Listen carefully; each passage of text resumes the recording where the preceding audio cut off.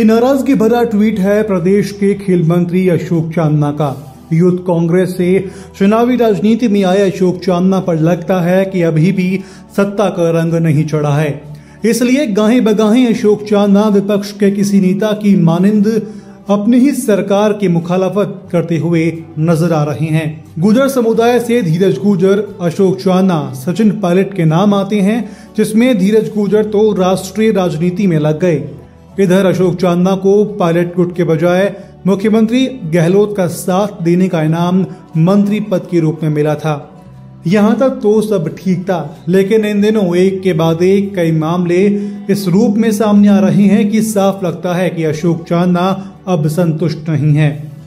वैसे भी इस सरकार में विधायकों की मिजाज पुरसी की अलग राजनीति चल रही है।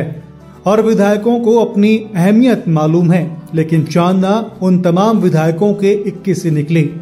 क्रीड़ा परिषद के अध्यक्ष कृष्णा पूनिया की बढ़ती भूमिका के आगे अशोक चांदना जहाँ असहज दिखते हैं तो वहीं अधिकारियों का रुख उनके लिए दोहरी फसावट का विषय बना हुआ है। आइए आपको बताते हैं कि कब कब अपनी ही सरकार से रूठे हैं मंत्री अशोक चांदना ग्रामीण ओलंपिक खेलों की प्रेस कॉन्फ्रेंस के दौरान भी उनका दर्द छलका था। तो वहीं बात करें, खेल विभाग और खेल परिषद में अपनी उपेक्षा से नाराज़ होकर के कुलदीप रांका पर भी आरोप लगा चुके हैं।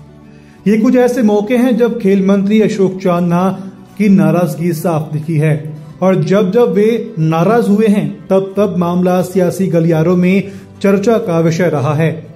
हालाँकि जादूगर गहलोत से झप्पी के बाद वे शांत भी हुए, लेकिन सत्ताधारी पार्टी के ही नेता और अधिकारियों से उलझते अशोक चांदना ने इस बार अग्रिम संगठनों के पार्टी मुख्यालय का मुद्दा उठाकर के फिर जता दिया है कि वे नाराज़ हैं और उनको फिर मनाने की दरकार है।